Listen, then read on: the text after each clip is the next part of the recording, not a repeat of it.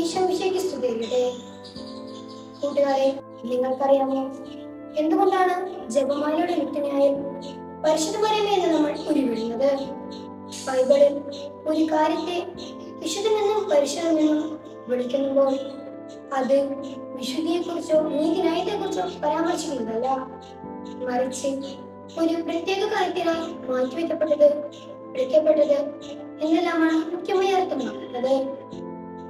അതായത് ദൈവം വിളിച്ച് മാറ്റി നിർത്തിയതിനാൽ മറിയമെന്ന സ്ത്രീ പരിശുദ്ധയായി.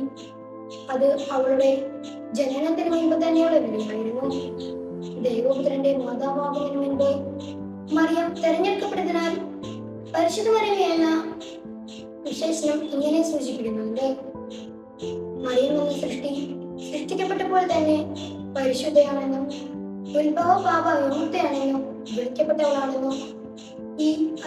അഭിസംബോധന വ്യക്തമാക്കുന്നു കൂടാതെ പരിശുദ്ധ ത്രിത്വത്തിന് ശേഷം പരിശുദ്ധ എന്ന് വിളിക്കപ്പെടുവാൻ യോഗ്യമായ നാമവും പരിശുദ്ധ കനികാമരയത്തിന്റെതാണ് വിളിച്ചവന്റെ വിളിക്ക് യോഗ്യമായ വേല അതിന്റെ പൂർണതയിൽ നിർവഹിക്കുന്നവരെല്ലാം വിശുദ്ധരെന്ന് വിളിക്കപ്പെടും എന്ന് അമ്മ നമ്മെ ഓർമ്മപ്പെടുത്തുന്നു. നമുക്ക് പ്രാർത്ഥിക്കാം. പരിശുദ്ധ അമ്മേ മാതാവേ വിശുദ്ധിയിലേക്ക് ദൈവത്താൽ വിളിക്കപ്പെട്ടവരാണ് ഞങ്ങളെന്ന് തിരിച്ചറിഞ്ഞ് അവിടത്തേക്ക് ഞങ്ങളെ വിട്ടു നൽകി. മറ്റൊരു ക്രിസ്തുവായി തീരാൻ അമ്മ ഞങ്ങളെ അനുഗ്രഹിക്കണമേ.